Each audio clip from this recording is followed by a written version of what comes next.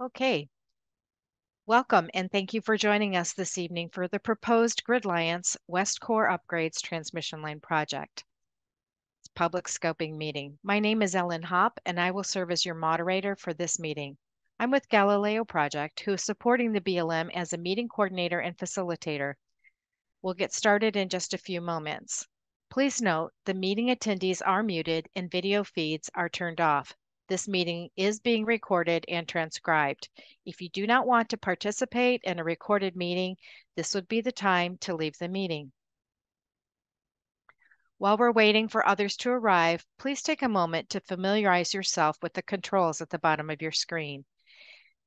If you are having audio difficulties during the meeting, you can use your phone for audio and your computer to view the screen.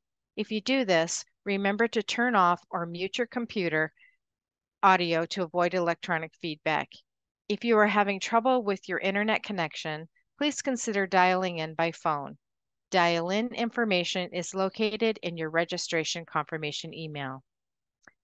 This meeting will include opportunities for questions and answers about the National Environmental Policy Act process, Environmental Impact Statement, and Resource Management Plan Amendment. Questions will be received using the Q&A feature at the bottom of your screen. This meeting will also include opportunities to provide a verbal comment. We will begin with those participants who indicated when registering for the meeting that they would like to make a comment. For all others who would like to make a comment, we will ask you to raise your hand. However, please wait until I give you the signal to do so.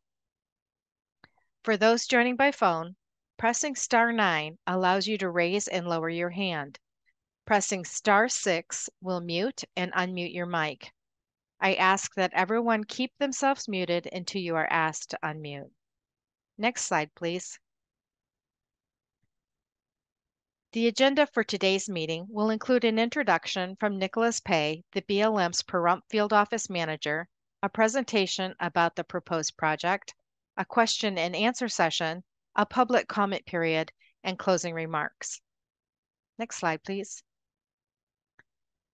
The presenters joining us for today's meeting include Nicholas Pay, the BLM Pahrump Field Office Manager, Marianne Vinson, BLM Realty Specialist, and myself, Ellen Hopp, with Galileo Project, serving as the meeting facilitator. Also joining today's meeting are the BLM resource specialists displayed on the screen to help answer resource-specific questions behind the scenes. Additionally, there are other BLM resource specialists who are not in attendance at today's meeting but they are assisting in the National Environmental Policy Act process and developing the Environmental Impact Statement and Resource Management Plan Amendment. Now, Nicholas Pay, the BLM Pahrump Field Office Manager, will provide an introduction. Nicholas? Thank you, Ellen. Good evening, everyone, and welcome to the public meeting for the proposed Gridliance West Core Upgrades Transmission Line Project. My name is Nicholas Pay, and I am the field manager for the BLM's Pahrump Field Office. I want to thank each of you for coming this evening to hear more about the proposed project and to provide your comments and input on this pro project. The proposed project is located in Nye and Clark counties in Nevada. The BLM has initiated the, the environmental review required by the National Environmental Policy Act. This initiated a scoping period that will be open until September 14th, 2023. This virtual scoping meeting is one of the first opportunities that individuals and agencies have, have to provide input on this proposed project. The overall goal is to define the scope of the issues to be addressed in, in depth in the analysis that will be included in the EIS. As you consider your comments, I would like to provide some information on what is most beneficial for us in the process First of all, please remember that commenting is not a form of voting on an alternative. Numerous comments that repeat the same basic message or support or opposition will typically be addressed collectively. As a general rule, please be polite and respectful. We recognize that some of you may not like or want this project. Those reviewing comments are public servants tasked with a job, and they deserve the same respect and professional treatment that you would expect. Also, as you provide your comments, please keep in mind the most helpful comments are clear, concise, and relevant to the analysis of the proposed action. Comments should be focused on identifying clear issues that may arise should this project be authorized and provide specific examples of solutions that could lead to ways to effectively eliminate, minimize, or mitigate the issue. We are still in the early stages of the National Environmental Policy Act process, so we may not have all of the answers to your specific questions. The primary purpose of this scoping period is to ensure that we have a good handle on the issues that need to be analyzed during the NEPA process. Thank you again for joining us this evening. I would like to pass the presentation over to Marianne Vinson, BLM specialist, BLM Realty Specialist for the project. Good evening. The BLM's purpose is to respond to the right-of-way application submitted by GridLiance West LLC to amend portions of the existing BLM right-of-way grants to construct, operate, maintain, and decommission approximately 155 miles of alternating current overhead transmission lines. The BLM will evaluate the right-of-way application by GridLiance West LLC in compliance with the Federal Land Policy and Management Act. The BLM's right-of-way regulations and other applicable federal laws and policies. The BLM's purpose and need for the project will be used to formulate a reasonable range of alternatives to be considered and analyzed during the National Environmental Policy Act analysis process. The BLM will evaluate these alternatives through an environmental impact statement.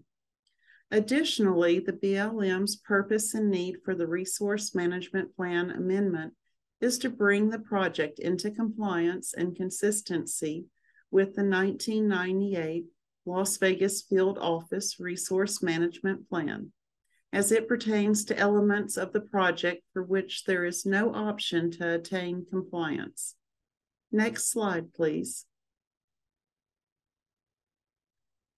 The map depict, depicts key elements of the proposed project and its layout, including the transmission line and substations.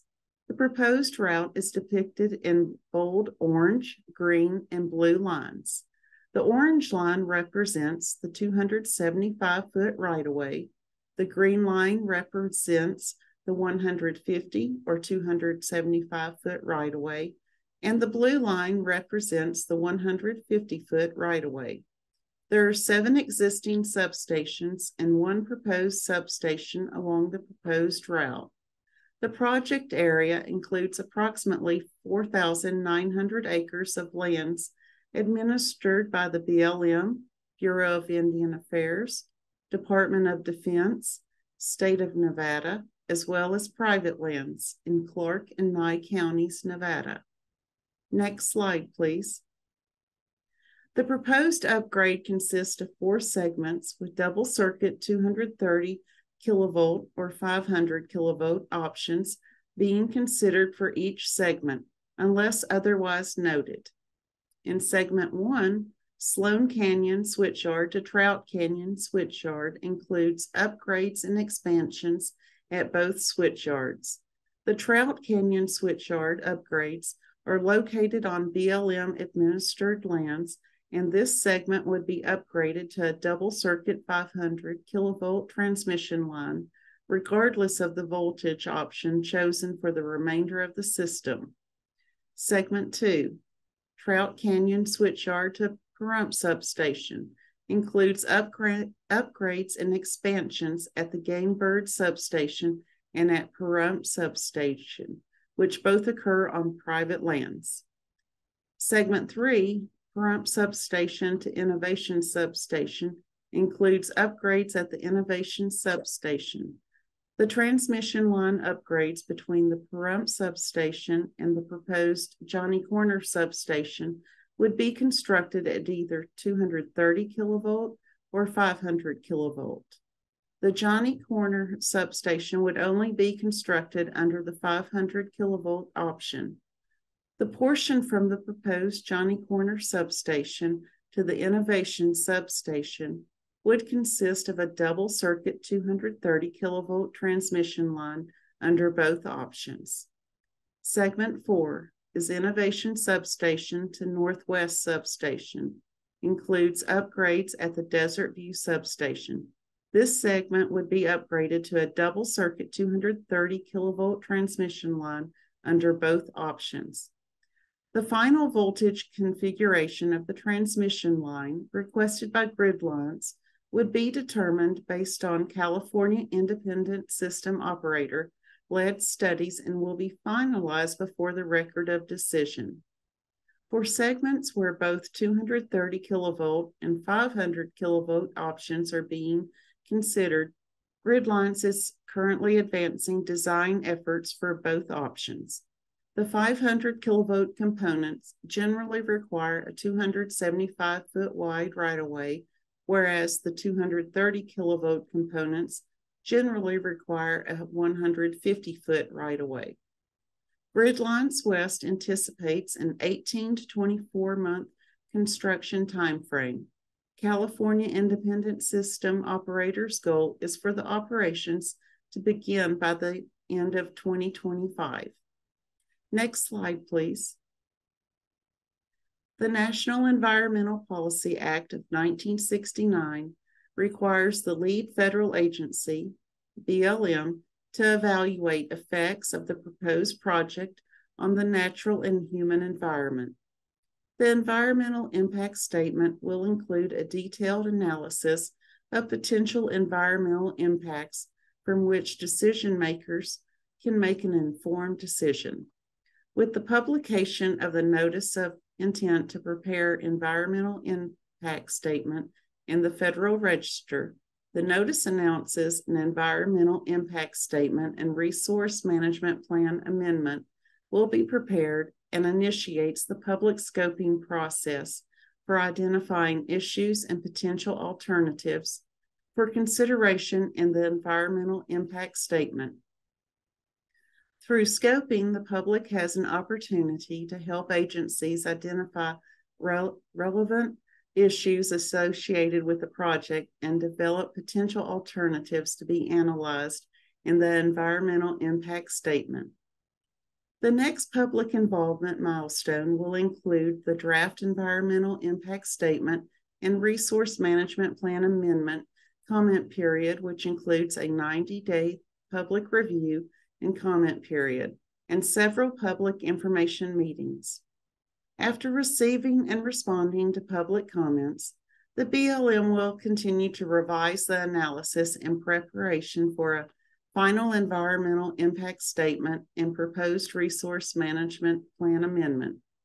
The final in environmental impact statement and proposed resource management plan amendment comment period will include a 30 day public availability and protest period and a 60 day governor's consistency review period.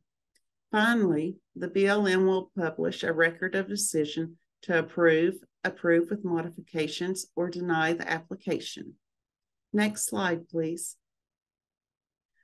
The National Environmental Act of Policy Act of 1969 establishes the process for carrying out an evaluation of a project. An environmental impact statement is prepared to analyze and disclose effects of the proposed action on the natural and human environment, and to consider reasonable alternatives and mitigation measures.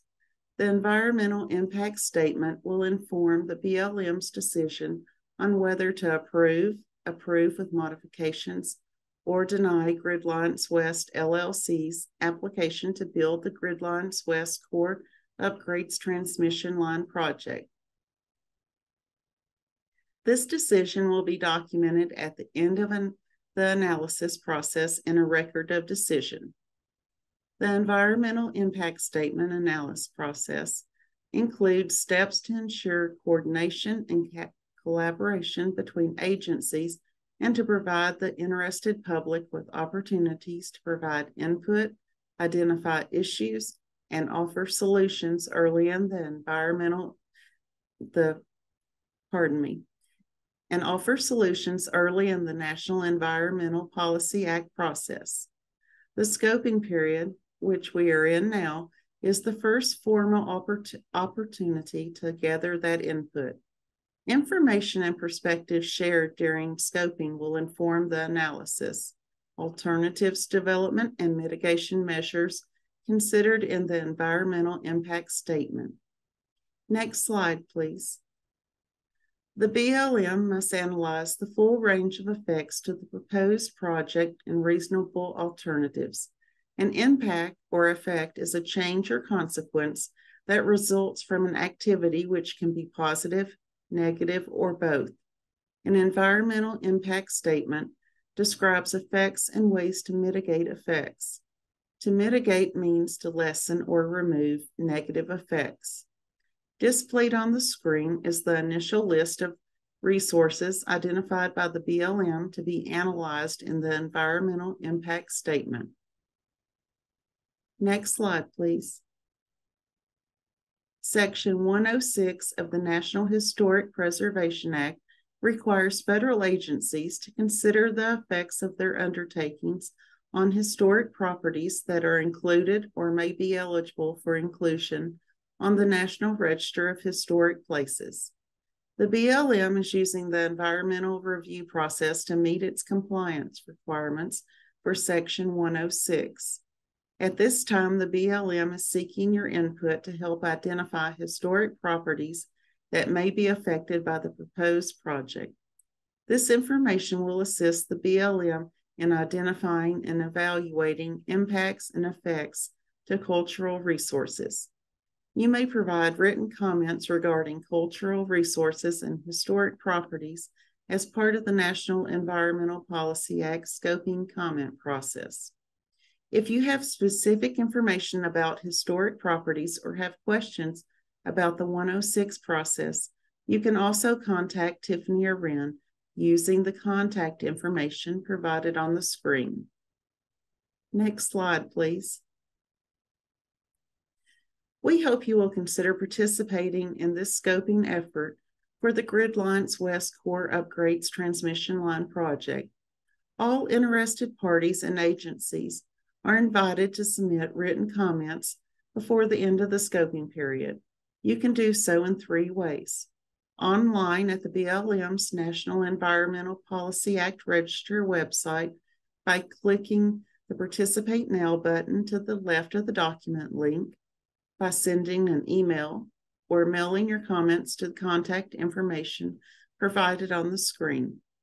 Your comments are most helpful if they address one or more of the following resources likely to be affected by the project, potential resource issues that should be analyzed, data sources that the agency may not be aware of, and or reasonable alternatives to be considered in the analysis. Next slide, please. Thank you for your attention. Further information about the project and public scoping meetings can be found on the BLM's project website displayed on the screen. If you have specific questions and would like to speak with someone about the project, please contact myself, Marianne Vinson, Realty Specialist, by phone or email using the contact information on the slide. To stay informed about the project, you may sign up for the project mailing list by providing your contact information using the form displayed on the screen.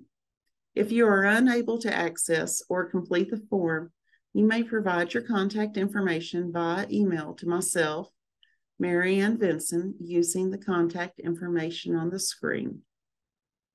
Next slide, please. Thank you, Marianne. We'll now transition into the question and answer por portion of the meeting. Galileo will serve as facilitator of the question and answer period. As a reminder, we ask those joining by computer to please type your questions into the Q&A dialog box on your Zoom screen. If you would like to provide a verbal comment, please wait until we close the question and answer segment. We'll let you know when we begin the comment segment of the meeting. Okay, so as we're waiting for questions to come through, um, we'll be reviewing some commonly asked questions. Thanks for your patience as we wait. Okay, our first question is, what environmental studies have been presented to show no harm to the Mojave Desert floor and water levels that will be depleted? Nick, Yeah, thank you, Ellen. Uh, various resource surveys are being conducted to provide a baseline of the affected environment. The BLM will use the information derived from public scoping comments to identify potential resource concerns, potential product project modifications and alternatives, and mitigation measures that could be used to minimize effects. The analysis will be documented in impacts disclosed in the draft environmental impact statement. After public review of the draft EIS, comments on the draft EIS will be considered will be considered and incorporated into the final EIS. The BLM will issue a record of decision at the close of the National Environmental Policy Act process. Thank you. We're just waiting for some more questions to come in. Feel free to use the Q&A function. It's at the bottom of your screen to type your questions for the BLM.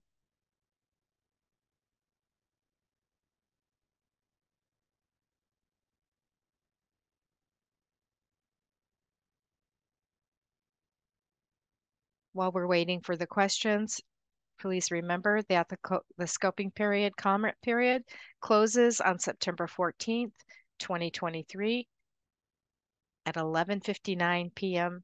Pacific time.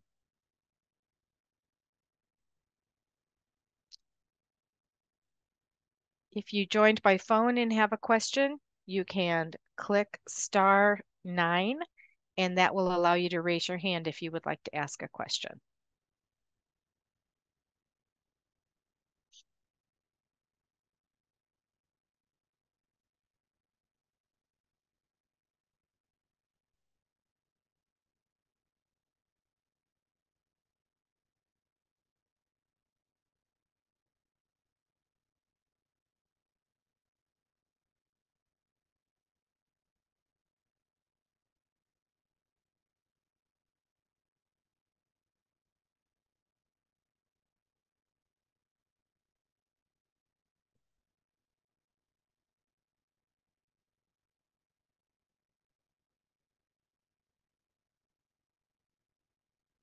Okay. We have another question. Uh, why is the upgrade needed and who will benefit from the project? Yeah, the 2022 and 2023 California Independent System Operator CAISO transmission plans note that the project will provide additional transmission grid reliability, reduce transmission grid congestion, and provide opportunities to meet the renewable energy portfolio standards by connecting potential renewable energy developments in Southern Nevada and provide economic development opportunities. GridLiance submitted the right-of-way application to the BLM to meet the company's obligation as a participating transmission owner in the CAISO. To meet the electrical electrical demands of end users, respond to transmission interconnection requests, improve overall system reliability, and to provide regional redundancy. Thank you, Nick.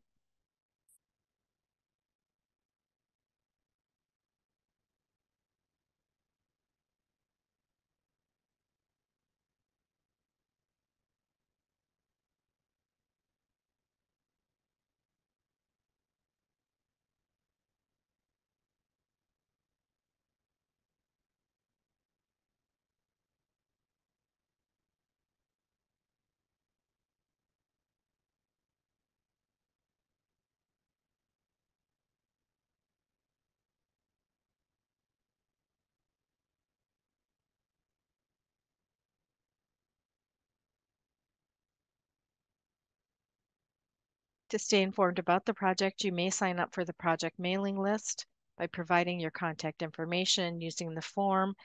Um, that information to do that is going to be shown on the screen at the close of the meeting.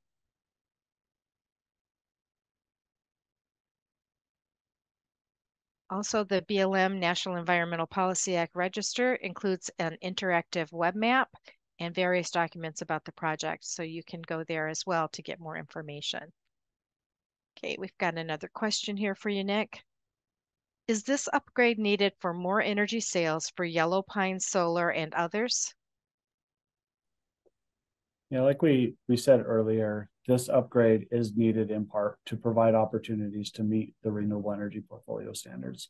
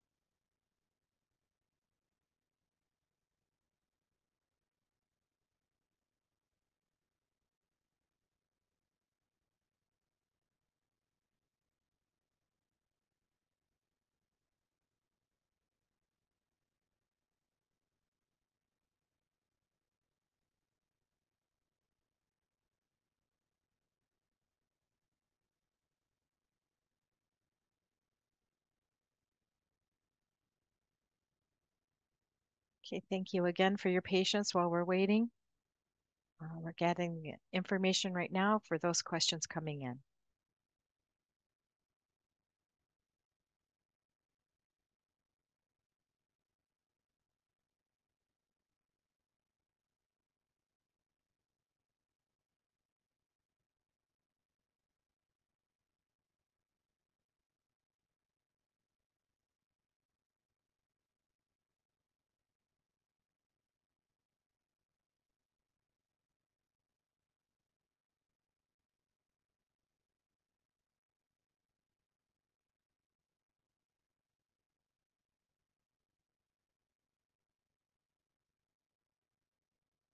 Okay, uh, Nick, we have our next question.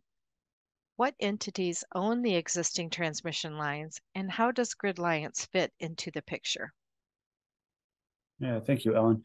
Um, so Gridliance actually owns the current system. They hold the existing right of way for for the current system that is in place. Um, their their application is to upgrade that entire that entire system. So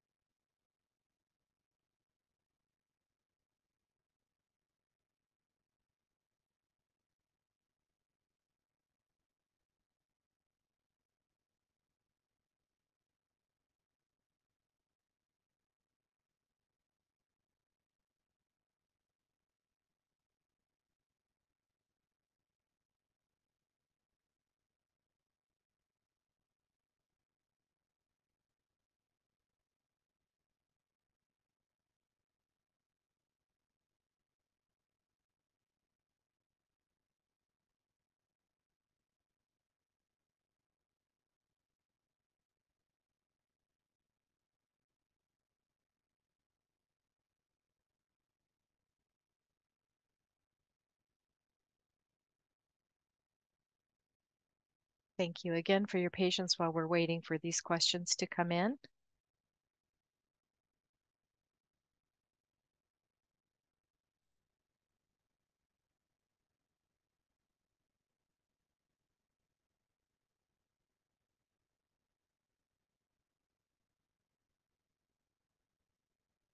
As a reminder, if you are calling in on the phone, you may press star nine, and that will allow you to raise or lower your hand. We will acknowledge you and you'll be able to unmute to ask a question.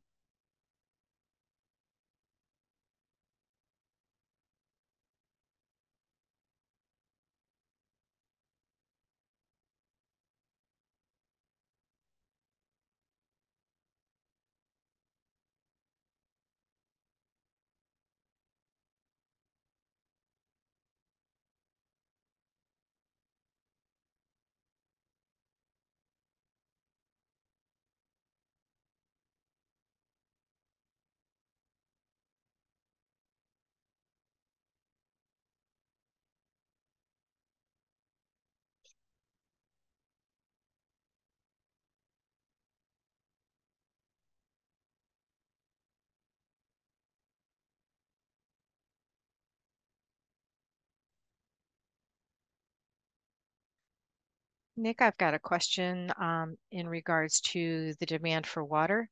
What is the anticipated demand for water given that water will be necessary for the construction of the transmission line and other future connected projects?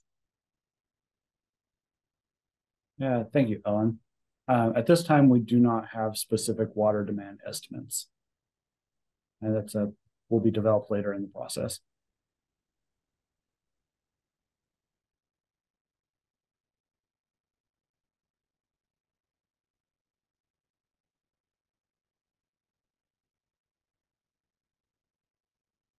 Just a reminder that you can later in the process, again, visit the BLM's National Environmental Policy Act Register. Um, it does include the interactive map, various documents about the project, and as more information becomes available, announcements for future meetings, uh, that will all be posted on that site. Um, also, this meeting will be repeated again tomorrow. So if you think of questions after this meeting is over, uh, you'll be able to join again tomorrow. Just register in the same way that you did to register for this meeting.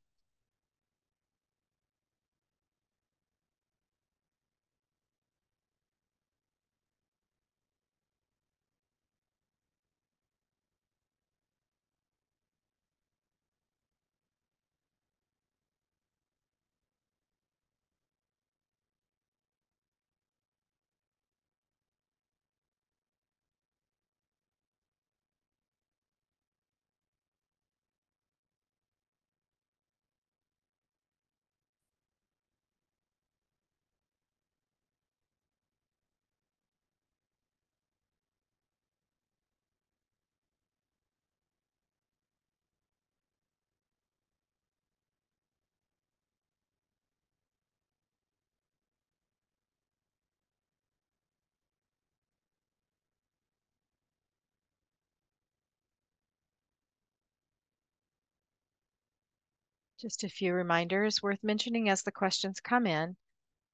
GridLiance is in the scoping phase, thus information is still being gathered regarding the project. Again, please visit the BLM's e-planning site for the project to access project information.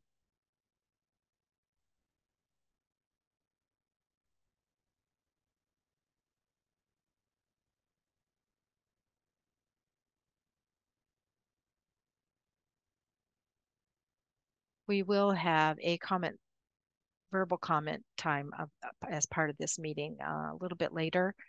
Um, so if you are waiting for that, please, we appreciate your patience and I will let you know when that time begins.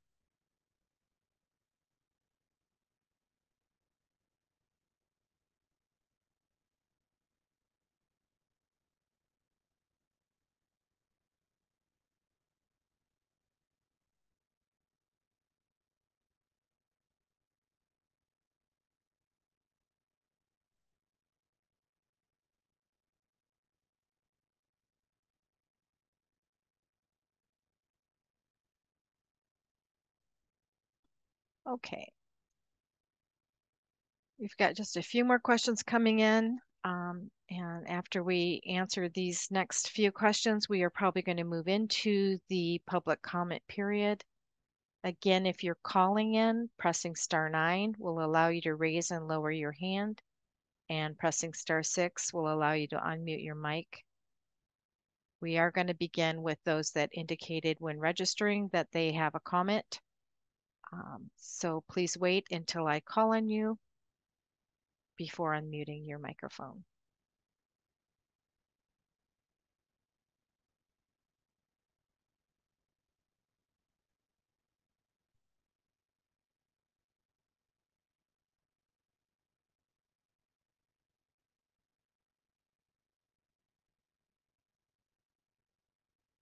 Also keep in mind, this is not your only opportunity to provide comment after this meeting and up until September 14th. You can provide wit written comments or questions to the BLM um, through the project email that's going to be shown at the closing slide or also by visiting the BLM's e-planning uh, website.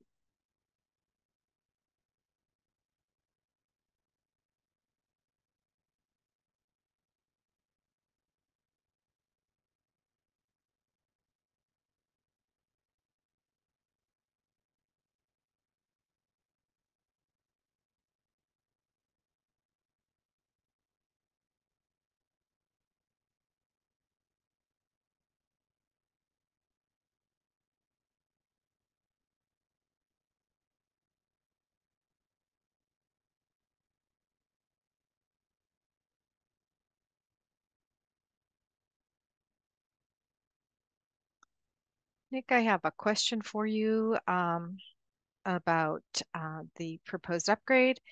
And that question is, which ratepayers will eventually pay for this proposed upgrade? Thank you, Ellen. And at this point, we, we don't have an answer to that question. That's something we'll work with the applicant and, and try to find an answer for.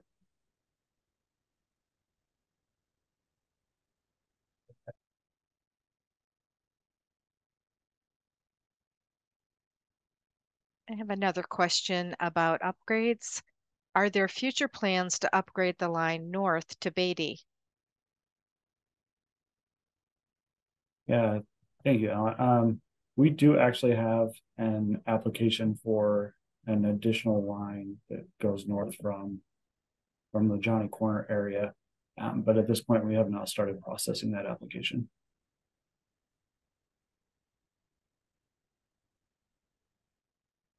And we'll just wait a few more moments to see if there are any other questions to come in. Otherwise, we're going to transition into the public input period.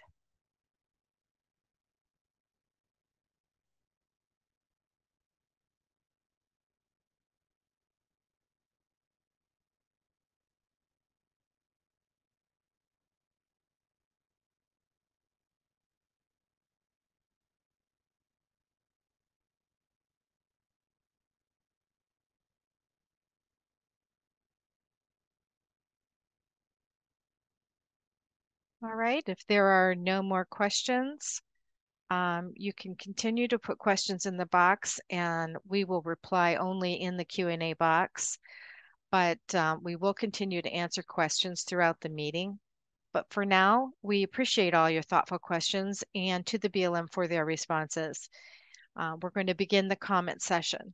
And as a reminder, we will begin with those participants who indicated when registering for the meeting that they would like to make a comment. For those who did not register to ask a question, you may do so now. Or actually to make a comment, you may do so now. For those joining by computer, again, please select the raise hand feature when it is your turn to speak. And the, I'll ask you to unmute your microphone. If you're joining by phone, press star nine to raise your hand and select star six to unmute. When it is your turn, I'll accept your request to unmute. When providing your comment, first provide your full first and last name. Each speaker will be given two minutes to make their comment. A timer will be displayed on the screen. Your input will be included in the project record. Next slide, please. As we transition into the public input period, please keep in mind that BLM wants to hear from all members of the public. Out of respect for everyone's participation, we'll be using the following guidelines. Stay within your allotted time to allow everyone the opportunity to speak. Please be respectful of others and refrain from profanity. If these guidelines are not followed, we may mute your microphone and move on to the next person. Your participation is an important part of the decision-making process. The most effective comments are those that provide useful information to the agencies. Keep your comments focused on the proposed project and what is being analyzed. Think about the concerns you have about the impacts the project may have and explain them in detail. Comments should focus on identifying potentially affected resources, potential resource issues that should be analyzed, and data sources the agency may not be aware of. Avoid comments that simply state, I'm in favor of the project or I'm opposed to this project. Please remember, the more clear, concise, and relevant to the project your comments are, the more effective and useful they will be at improving the environmental impact statement and resource management plan amendment and informing the BLM's decision. Okay, our first commenter today is Kevin Emmerich. Kevin, please raise your hand and we'll unmute your microphone.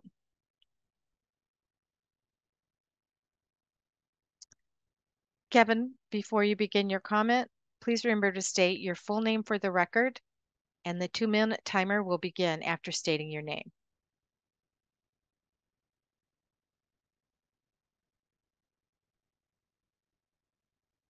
Hi, can you hear me? We sure can. Okay, yeah, I don't have a very long comment here, but um, thank you for allowing the comment. Um, this is a fairly big upgrade. Um, the line is owned by NextEra, and NextEra is also building Yellow Pine. But the amount of um, plans to upgrade substations and both the line capacity um, indicates that there are going to be some really uh, major connected actions of large scale solar impacts to this project. Um, you need to review that either as a connected action or a major cumulative impact when you start doing the NEPA review.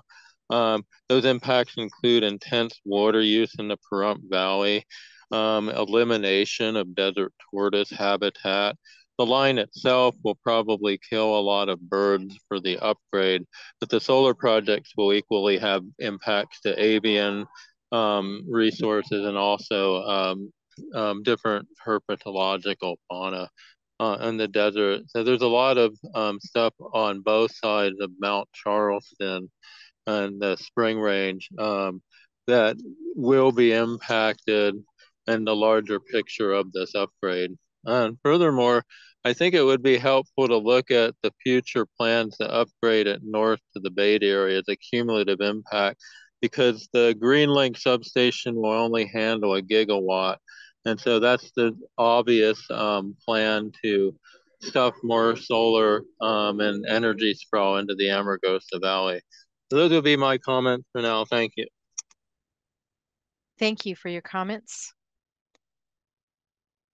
We'll reset that timer. Our next uh, commenter is John Hyatt. John, please raise your hand so we can unmute your microphone.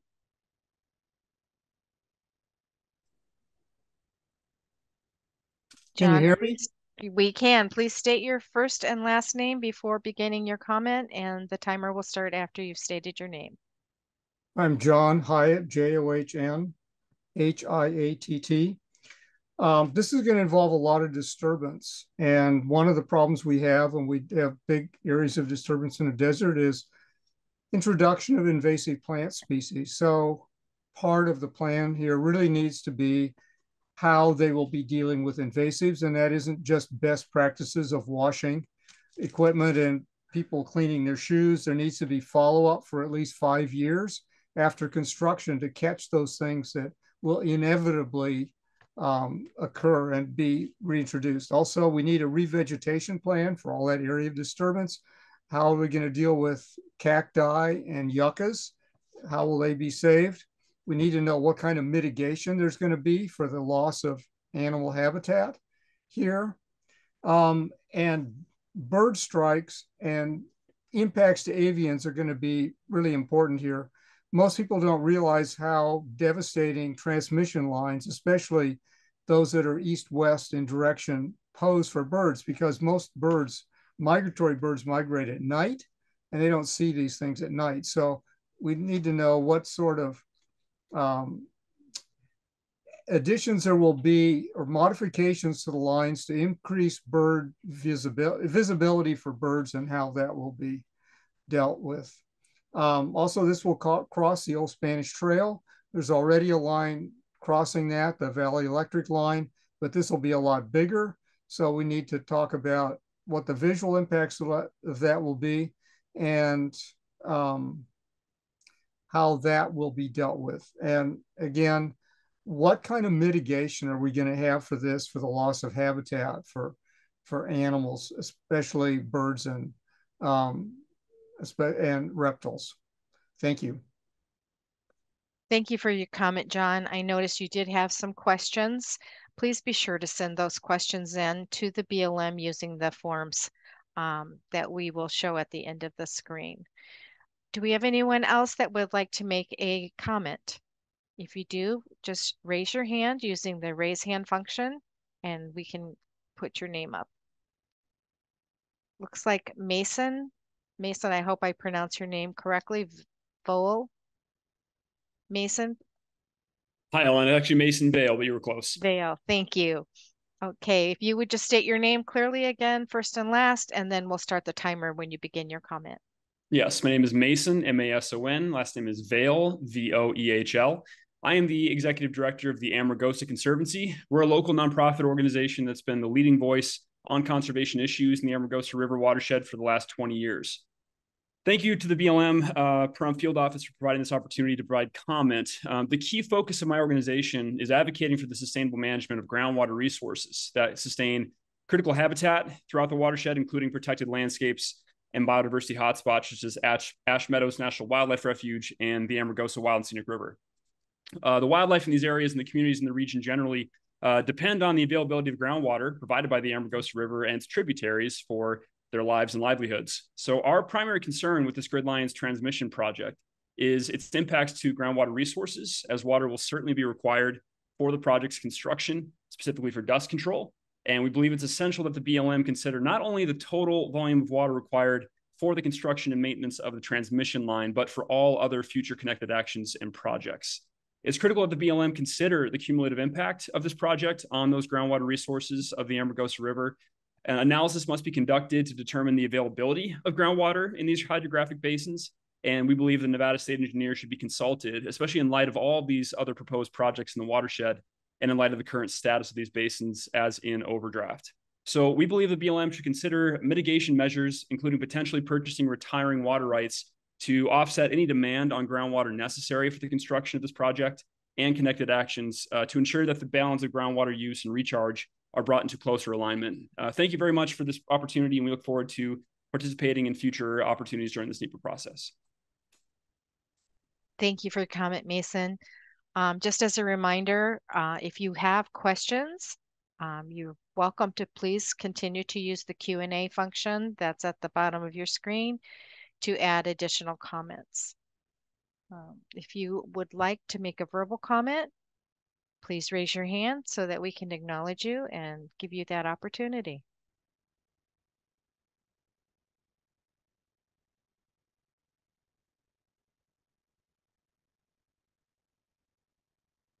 The BLM is committed to remain here until 8, uh, as was advertised for this meeting. So please uh, let us know if you've got any comments or any questions.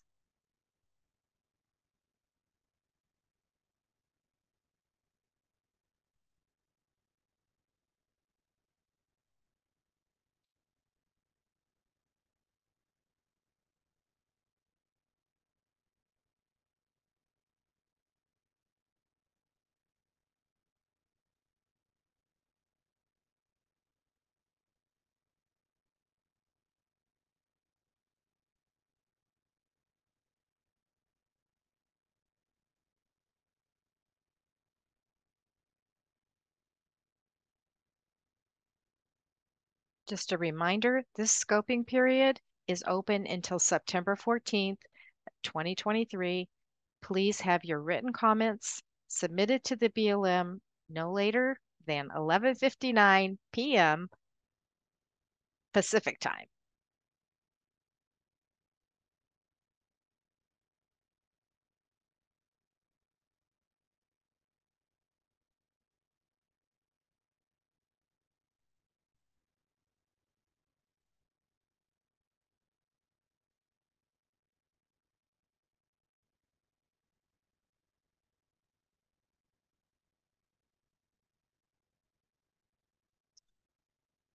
Okay, is there anybody else that would like to comment or ask a question?